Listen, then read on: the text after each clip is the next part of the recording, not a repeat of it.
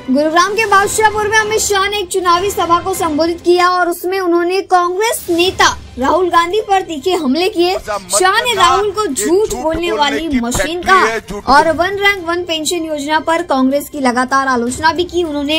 अग्निवीर योजना का समर्थन करते हुए हरियाणा की माताओं से अपील की कि वे अपने बेटे को सेना में भेजने से जरा भी हिचकिचाए नहीं। आपको बता दें कि अमित शाह ने कहा कि मैं आपसे वादा करना चाहता हूँ कि अपने बेटे को सेना में भेजने से पहले संकोच न करे। हर अग्निवीर को पेंशन वाली नौकरी मिलेगी। हरियाणा वो प्रदेश है जहाँ हर दसवा जवान सेना में जाता है। मोदी ने कहा कि उन्होंने वादा भी किया है कि हम वन रैंक, वन पेंशन को पूरा करेंगे। 40 साल में कांग्रेस की तीन पीढ़ियों ने सेना का सम्मान नहीं किया। वन रैंक, वन पेंशन को पूरा नहीं किया। वन रैंक वन पेंशन का तीसरा वर्जन भी मोदी ने ही लागू किया है।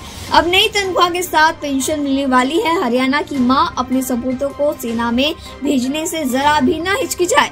मैं आज बादशाहपुर से कहना चाहता हूँ कि पाँच साल बाद कोई ऐसा अग्निवीर नहीं होगा जिसके पास नौकरी नहीं होगी और पेंशन नहीं होगा।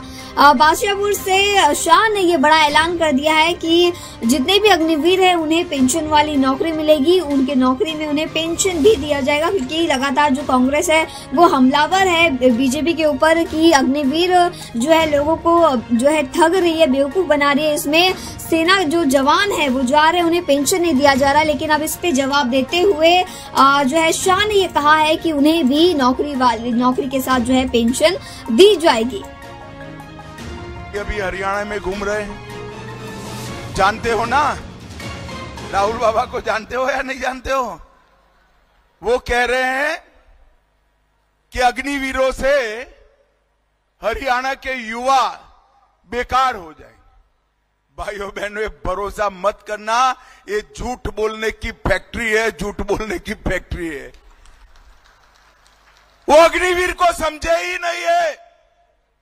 अग्निवीर हमारी सेना को युवा रखने का कार्यक्रम है।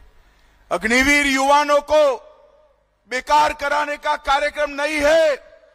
जो भी युवा अग्निवीर में 25-30 लाख रुपए की एफडी कर कर वापिस आएगा, मैं आज नांगल चौधरी वालों आपको वादा कर कर जाता हूँ एक एक युवा को हरियाणा और भारत सरकार मिलकर पेंशन वाली पक्की नौकरी देने का